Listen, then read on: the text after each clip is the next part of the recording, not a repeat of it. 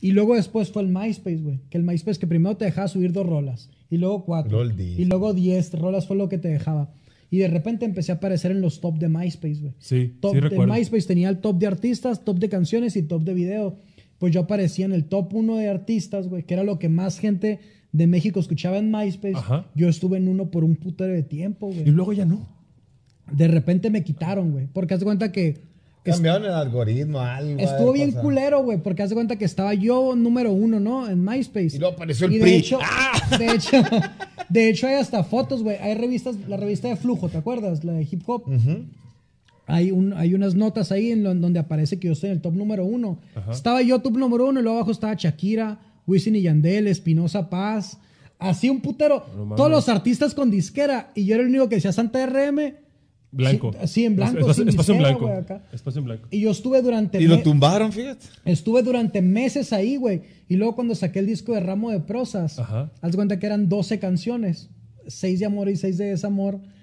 Eh, en el Ramo de Prosas, ya haz de cuenta que tú, estaba el top 10 y le ponías ver más y te ponía el top 50, ver más y te ponía el top 100, ¿no? Ajá, claro. De artistas y de canciones. Pues cuando saqué ese, yo subí las 10 las 10 canciones al, al pinche... al MySpace, güey. Y el top 10 de canciones eran mis 10 canciones. No mames. Y el top de artistas, yo estaba en uno, güey. Entonces, después de meses que tú entrabas a myspace.com, si entran a lo más O sea, que myspace.com, terminó la universidad a los 14 años, pues.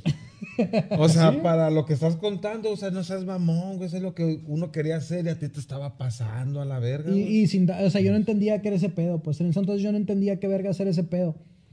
Bueno, sí, más no como saberlo manejar. sí, güey, no, no, no, yo también me pongo a pensar, eh, el Charles una vez me dijo, güey, me dijo, es que tú estabas bien adelantado a la verga a tu época, me dijo. Tú estabas ya siendo viral cuando esa madre no, nadie sabía qué pedo a la verga. Exacto. güey. Es- El Charles es- me lo es dijo a mí. Ajá, exacto. te adelantaste a la verga, me dijo. Hacías cosas.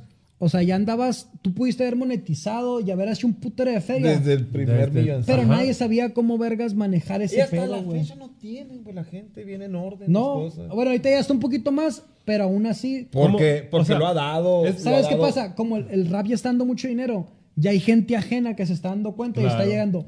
Eh, güey, ¿sabías que puedes hacer feria así, así, así? Y abogados hasta como nosotros ya nos estamos dando cuenta que es- está saliendo chamba de Hay ahí, business, güey.